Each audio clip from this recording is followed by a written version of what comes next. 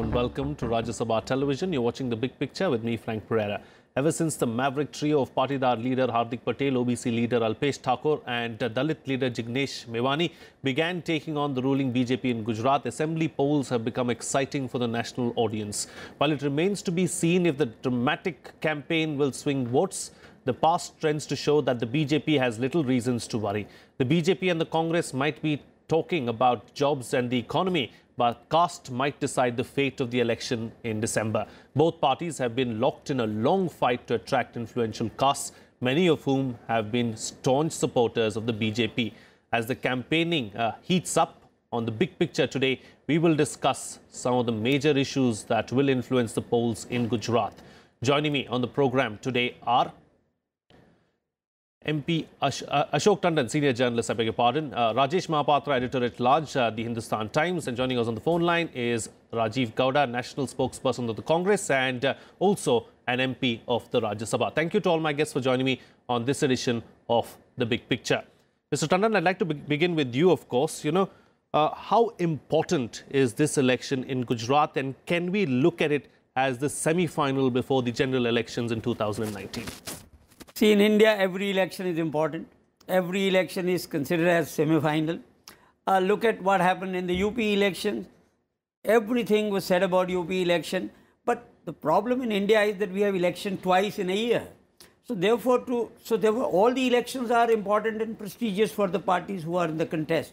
So I don't think that we should be seeing Gujarat as a special case. In fact, UP was considered more Uh, special than any other state because of obvious factors uh, UP has. But nevertheless, the fact remains that what you are saying is important from two points. One is is the home state of both Mr. Narendra Modi and Mr. Amit Shah. So it makes it an important event. There is no doubt about it. So it is important. It is important, more important for the Congress party, I would say, because it is basically a campaign by the Congress to launch Rahul Gandhi. See, they want to show that it's a win-win situation for Rahul.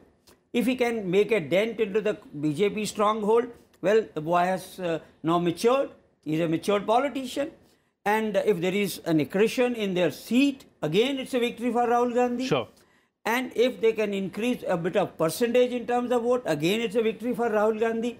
And even if they lose, they will say he was fighting against almighty Narendra Modi. Hmm. So therefore, basically his launch as party president is now being coincided with the Gujarat election.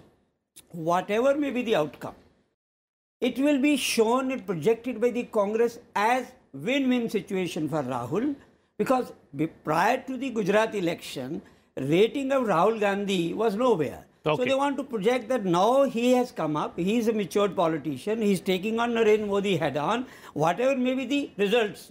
So therefore, I think from Congress point of view, it is basically, it's not an election for Gujarat Assembly. It's an election for projection of Rahul Gandhi on the national scene. Okay, I'm going to take that point that you're making to the uh, Congress person on our panel today, Professor Rajiv Gowda. Before that, let me welcome uh, Mr. Tarun Vijay on the program, National Executive Member of the BJP and former Rajya Sabha MP. Thank you for joining us. Uh, Professor Gowda, would you want to respond to what Mr. Ashok Tandon has just said? Um, I think what uh, Mr. Tandon has said is a very narrow perspective. The Gujarat election is an opportunity for the people of India to investigate what the Gujarat model was all about. To, and in the larger sense, uh, this will provide a verdict on the promises and the performance of the Narendra Modi government at the national level as well. Both the, the, the much hyped Gujarat model and the much promised Acche Din, etc., that were uh, pushed forward by the Prime Minister during his campaign, these are all resting on a set of myths that have been placed before the people. The harsh reality is coming out now in Gujarat. You're seeing traders, a, a, substantial community of support for the BJP out in Surat in large numbers, in lakhs, protesting against the BJP for its uh, the way it has implemented the GST, the impact of demonetization on that, uh, you know, on, on jobs and uh, the textile sector and, you know, the, the whole uh, uh, medium, small industry sector in, in, in Surat. Like that, you're seeing the impact on the agricultural side of Gujarat and the fact that farmers are in, in bad shape, that land that has been taken away from them, for example, to build the nano plant, did not result in any jobs or any significant benefit to either Gujarat or to the, uh, the farmers who lost their land. So the basic story that is emerging from this Gujarat election is that the wonderful picture that Mr. Modi has been projecting is actually a falsehood and that the reality is something much worse. So what this election is an opportunity for us is to show that yes, a few crony capitalists have benefited tremendously with, um, uh, and the big investments are in those kinds of mega uh, sectors, but that does not benefit the people. It does not benefit the poor. It does not create jobs. Sure. And when you look at the marginalized sectors in Gujarat, the Dalits, the Adivasis, the women, Mm-hmm. you will find that their social indicators are much worse than other, other states, that the uh, state of Gujarat has not been able to keep up with other states on these, uh, on these crucial dimensions of human development. Therefore, what is shown as a growth model has ignored development, has had very, very Okay, I'm going to take the point that you're making to And- Mr. Tarun Vijay and let him respond to what you have just said. Do stay with us, Professor Gowda. I'm going to get a, another reaction from you ahead in the program. You know, Mr. Vijay, the Gujarat model has failed is the story that Congress wants to get out of this. And the people of Gujarat will show the, show the BJP that the Gujarat model has failed is what the Congress is suggesting. I think he must be sitting either in the Congress office or must have done some analysis uh, about the Congress prospects in Gujarat. So what he says is right for Congress because wherever Rahul Gandhi ji went, he found only the empty chairs and no takers for his any any any sloganeering. He lost on uh, Hardik Patel. He lost on AP. He lost on uh, Dalit leadership, uh, Jitendra Mewani. He could not even convincingly say a single one slogan or single one assurance to the uh. And everyone are asking that where from has he tried to give the reservation to the patidars? From space, from Mars, from Saturn, or from uh, somewhere else across the borders? So uh, I think uh, they have given up very, very clearly. That's the only reason that they are anointing Raji, uh, uh, Rahul Gandhi uh, as a Congress president before the Gujarat outcome. Otherwise, after the Gujarat outcome, it will be just deluge for the Congress. Then it won't be uh, any uh, uh, uh, intelligence to have him uh, as Congress. Gujarat gave Prime Minister's biggest instrument of resurgence. It was the resurgent Gujarat the dynamic Gujarat for the last more than 12 years that created an atmosphere all over India, biggest FDI, largest number of girl child's uh, uh, literacy, largest number of the harvesting and the farmers uh, uh, uh, loan systems and uh, the biggest happiness index if at all there is any happiness index that exists in Gujarat for the farmers. Secondly, industrialization. Thirdly, everyone from the world, right from the Americans to the Chinese, they are there in Gujarat from Surat, Rajkot, Vadodara, and uh, Gandhinagar and uh, Ahmedabad. The uh, biggest one state taker of the FDI is Gujarat, Sure. not You know, Karnataka, from where Mr. Gowda comes. You know, these in- so I can in- I indicators that, you just brought up, the social to- indicators do not Sir. do not uh, paint a very bright picture. If you look at some of the social indicators that are here in front of me, you know, ranking out of the top 20 states, infant mortality rate, Gujarat number 11, literacy number 7, life expectancy, number 10, poverty number 10, sex ratio number 15. So, of course, the economic indicators are good, but the social indicators do not look very bright. Yes, economic indicators will certainly go down to increase the social indicators also, but the economic indicators in the rest of the country, especially in the Congress rule uh, uh, Karnataka, it's just not even mentionable. So, where, whom are you comparing? Social indicators, if you say, then Gujarat, uh, Karnataka is at the bottom of the country's uh, index. You are not telling about it. I was in Karnataka last month and the kind of the atrocities on Dalits are happening there in Karnataka and the Dalit uh, leaders are being killed and three of them were the RSS workers who were brutally murdered in uh, uh, Karnataka, and Karnataka government could do nothing, absolutely nothing. Law and order situation, the last. Sure. The Okay. uh, We'll- we'll- highways, we'll try and keep Karnataka out of and it for the time Bangalore has become a pothole city. But but, but So you, you, what you've are spoken you about Gujarat. to? Let, let me bring in another panelist into the picture now, Rajesh Mahapatra. Rajesh Mahapatra, you just returned from Gujarat. You know, the rhetoric is high in Gujarat at this point in time, but there are the real issues being, you know, lost in translation in the middle of all this rhetoric. No, I don't think uh, they are being lost, and uh, uh, both Congress and BJP would be making a mistake if they think they are being lost, and they are never lost. Uh, the question is how they are kind of mediated, uh, managed, and uh, how they kind of find their manifestation in, in, in, in the way electoral outcomes uh, happen. Uh, I just want to go back and say you started off saying that BJP has little worries I would say actually the truth is they have lots of worries in Gujarat. That's that's that's the reality. Okay, why do you that's the say that? sense that's the sense I got. You also said that economy, job losses are issues, but it's caste where uh, uh, things matter, and that's where uh, you know BJP will manage things. And I think you're very right. Uh, uh, uh, what what uh, Gujarat is today, and particularly this election, is going to be all about how you manage caste equations in different constituencies. But there are these overarching issues of economy. Uh, there are these overarching issues of social deprivation, uh, which do uh, kind of influence and shape voters' opinion. Now, I, I want to say something which, you know, it's neither BJP nor Congress. If you look at Gujarat, and people talk about this Gujarat model of development, my view has been Gujarat was not an outlier or outperformer in the 10 years starting from 2003 to 2012. When the broader economy was seeing a great boom, Gujarat was advantageously positioned to, to make the most of it. Okay, given its landman ratio, given its uh, you know entrepreneurship of its people, given a very business-friendly government, and so when the broader economy grew eight and a half percent, Gujarat notched up uh, a few uh, uh, more percentage points, and they, they, they did very well. And there was considerable amount of trickle down that was happening.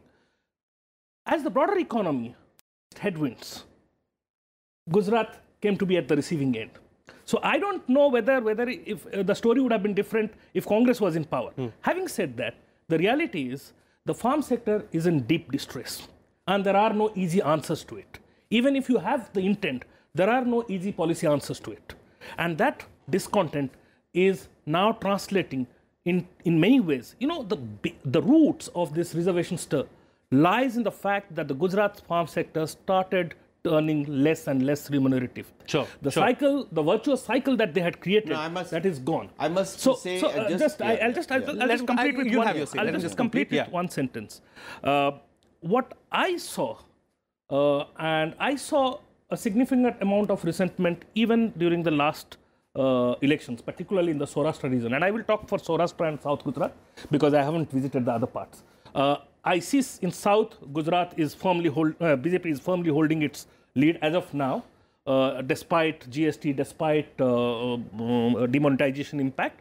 But in Saurashtra, uh, it's very, very open and clear, uh, clear that they have lost a lot of ground. Even people within BJP I met, they also concede Okay, that it would be sure. difficult for them to retain the title. Limited time on the program, Mr. Vijay. I'm going to let you have your say, but before that, let me go to Pro- uh, Professor Gowda as well because he has to leave us. He's with us only for 15 minutes. Yes, yes, sure. Pro- you know, Professor Gowda, you've been patiently listening to what all the other panelists have to say. You know, uh, the Congress certainly seems to be seems to have put up this rainbow alliance of sorts in Gujarat. You know, going by the 1980 model of Solanki, it was called the KHAM back then. It's now called the CAP. Do you believe that this is definitely going to work for you? But everything has Let, let him got out complete. of it. Let him let him complete. Let him complete. Let, let, let, let I, Professor, Professor, I have a great respect for my friend. Let him say. My, my friend Tarun Vijay Yeah. should publicly announce that if the results go against him and everything that he's been saying, that he will peacefully retire from politics. because uh, unfortunately, uh, much of what he said was inaccurate, and he kept focusing on Karnataka. We will see when the Karnataka election comes what the data is and what it shows with respect to comparisons with Gujarat.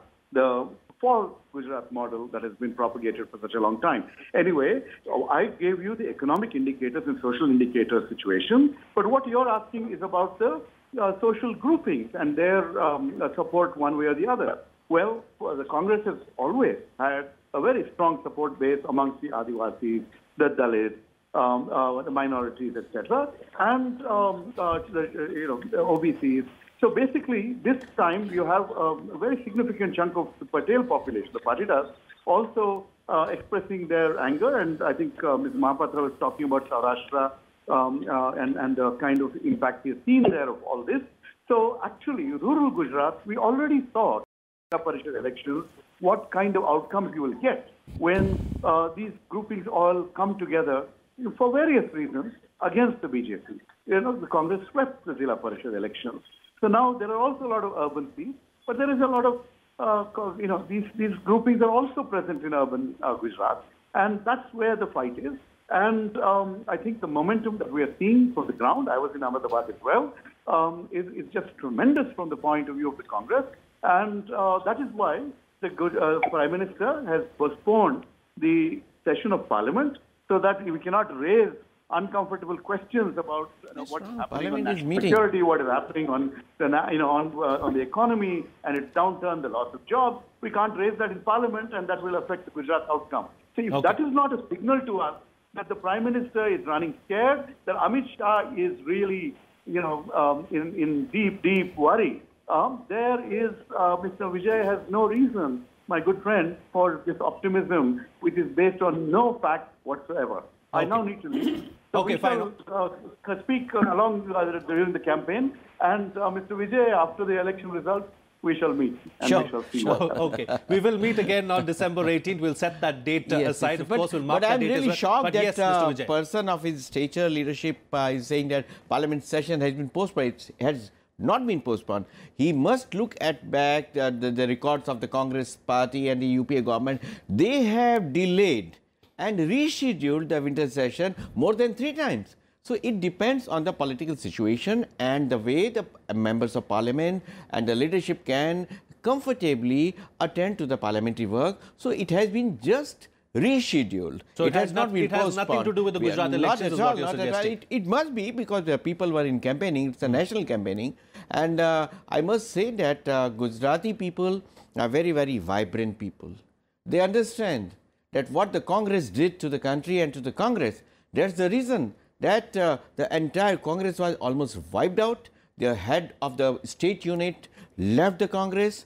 The Dalit leaders they were trying to woo, they left Congress. And whoever was anyone and anywhere in any street, they were trying to wear, well, Congress is trying to have an alliance. It's a Humpty Dumpty alliance they were trying to force. But nothing happened absolutely. And the worst part and very nauseatingly irritating one that the Congress who laughs at the Hindu pains and doesn't speak a single word on the Hindu at- atrocities on Hindus in Kerala or in Karnataka and they celebrate the biggest massacrer of Hindus, Tipu Sultan in Karnataka, goes to a temple tourism in uh, uh, Gujarat. What kind of, it's like, you know, rubbing salt on the wounds of the Hindus. So all these tricks will not work. All these tricks. Gujarati people are very intelligent people and they know what is what lies behind all the dramatics. It's a theatrics. Okay, with it's Rahul theatrics is what you're calling it. and, uh, you know, he will certainly get the uh, uh, prashno ke jawab. Okay, fine. And let me bring in uh, Mr. Tandon now, who's been quietly listening to everything that's been happening around him.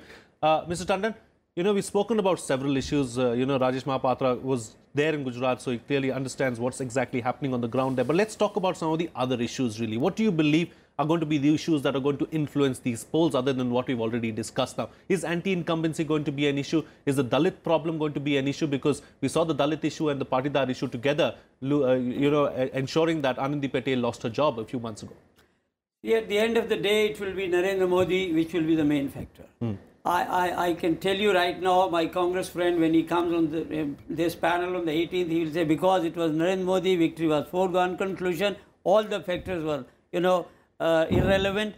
And it's a fact. The people of Gujarat identify themselves with Narendra Modi as the Prime Minister of India, as one of the tallest leaders in the world. That pride itself is enough for the people of Gujarat to vote for BJP, although there may be various other factors. They may not be even happy with certain things. Anti-incumbency may also be there against the state government. But when it comes to poll, when it comes to vote, it will be a vote for Narendra Modi. So therefore, I, I'm not saying that uh, these factors are not working. They are working on the ground. They may be working in each and every constituency. People must be judging them, assessing them. When it comes to going to the ballot box, it will be Narendra Modi that will matter. And therefore, that's why, you know, some people say why Narendra Modi is addressing so many meetings. Because it is going to be a vote for Narendra Modi, so he has to be there. And he has to invoke the pride of Gujaratis. There is nothing wrong in doing it. So therefore, I think factors are there. So three years, 20 years of three years, anti-incumbency. three years on, the Narendra Modi magic is still going to work in It Gujarat. is is still saying. working all over India. Hmm. It's working abroad as well. So why should it not work in Gujarat? Especially when it's a matter of pride for all Gujaratis. And I know Gujarati mindset. They work on such things. For them, it's a big, huge pride that their leader is a world leader today. And that will be the bottom line when they go to the polling. Sure. Rajesh Mahapatra, issues like GST, demonetization, still a, a, a worry for the BJP in Gujarat, or is that, no, no is I think, not I at all think, a problem? I think they have been overly played up by the national English media here. Uh, I, I, uh, yes, GST is a is an issue, uh, but there are those are issues in certain pockets, uh, and I'm not very sure to what extent they will translate in terms of uh, uh, electoral outcomes. But the farm crisis is definitely an issue. If you ask me today, what is it that BJP must worry about? Is its failure to address a deepening, festering farm crisis over the past three years. Uh, and uh, I agree with uh, Mr. Tandon when he said that in Mo- Gujarat, it's a vote for or against Modi. It is going to be a vote for or against Modi. But and that's why BJP is pinning a lot of hopes on Modi so that he know he would come and change these overarching sentiments. But these overarching sentiments are also being driven by what people see and feel on the ground. And I can I can I can say that there are reasons uh, for us to uh, you know sometimes we take a few things for granted. We think you know Modi is invincible. I don't think any political leader and uh, our history shows is invincible. And they would be making a mistake if they think that they are invincible. What happened in kamras where the son of the soil could not have a ra- rally uh, at the venue he wanted to, or, or what happened today in Morbi uh, indicates that uh, the tallest uh, leader of uh, Gujarat isn't invincible. And BJP should not take things for granted. Uh, Okay. Those the, are BJP, the BJP should not take things for granted, Of course, Mr. Vijay. No party. Are, are you no being party should take things in uh, for granted. No party should take uh, the opponent uh, as a weak opponent. We must work very hard. We are working very hard. Mr. Modi is certainly. I don't use the word uh, invincible, but I use the word charismatic. He is a beloved leader, and people will show love for the tallest leader that Gujarat has produced for the country. 20 years on, do you believe that a sense of complacency has set in amongst the, you, you know, the, the, the working class of the BJP in Gujarat? Whatever complacency, if at all it was there, uh, would have been completely eradicated and uh, rejuvenated the entire machinery with the continuous presence of Prime Minister Modi and uh, Amit Bhai Shah. Sure. I want to say Yeah, something. Yeah, yeah. Charisma in politics is not a thing that can be taken forever. It has to be reinforced from time to time through action and outcomes. Mr. Modi is very serious Sure. about Okay, it. okay, okay. Yes, Mr. Tandon. No, uh, uh, there is a bit of contradiction. When BJP is putting all its forces in Gujarat, Modi campaigning, Amit Shah campaign in Gujarat, it is again projected as sign of weakness. Hmm. And when they don't, or they, if they don't, then it says that they are taking people for granted. So therefore, I think the way BJP has been planning its election strategy in Uttar Pradesh or now in Gujarat, they are not leaving anything to chance. Yes. I think the high pitch campaign which BJP has mounted in Gujarat, I think is unparalleled. And it is being seen because they are worried. So therefore, I don't think, see, Amit Shah's campaign strategy in the previous elections, including UP and Gujarat, is not to leave any stone unturned, not to leave anything to chance. And that is why it has become a, a big issue. It's it's a huge campaign which has been mounted in Gujarat by the BJP. We Okay, believe, I've- I've- And one believe in thing- one Purusharth, thing- Okay, one minute, not please. any chance, Purusharth. okay, I've got one minute left on the program. Quick closing comments from the journalists on the panel. Mr. Tandon, how would you call the Gujarat election? any shortcoming or any anti-incumbency on the part of the Gujarat government for the last 20 years will be condoned by the people of Gujarat just because they are voting for Narendra Modi. Okay, Uh, Rajesh Mahapatra, how would you call the Gujarat election since you've just been there? Would you say 60-40? Would you say 50-50 or what is it? What, in terms of who wins? Yeah, in terms of who? I think it is irrelevant. Uh, I I don't think, uh, uh, uh, e- even if Congress gets 75 seats, it's a victory for them because Okay. six months ago, you know, they weren't even seen as uh, getting 40 seats. That's what I said at the think- beginning. I think, I think Okay. is important is what comes out of Gujarat elections. And I tend to disagree with Mr. Tandon. It is the true semi-final. What comes out of Gujarat election Okay. is going to shape the I'm completely contours out of time on the politics program today. for It- 2019. it is going to- Resurgent Gujarat will power resurgent India. Okay, all right, fine. We've got closing comments from all our guests uh, put in, in the last minute there. Thank you for, to all my guests for joining me on the program. Thank you so much for watching as well. That's all the time we have today. See you again next time.